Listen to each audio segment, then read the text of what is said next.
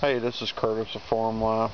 Well, I've got the metal detecting bug pretty heavy now, and I went out and bought me a Garrett Pro 250, and I got the Pro pointer to go with it. And I went out to a couple old abandoned sites.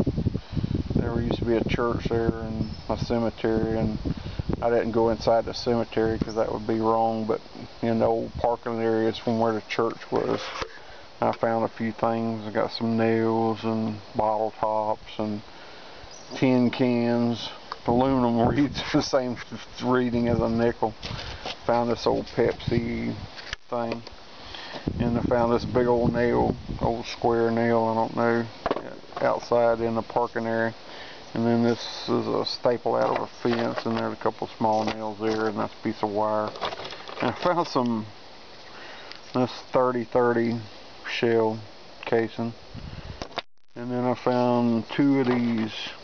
This is a Russian round. I think it's an AK AK round, but it's um, I found two of them. And I found a bullet. And I found a 25 automatic case.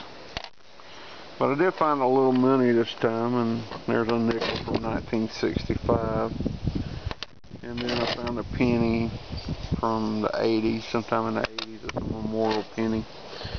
But I found this, this Chinese coin made into a pendant. I don't know if you can see it. And then there's the other side of it. It's got 1988, and it's pretty heavy.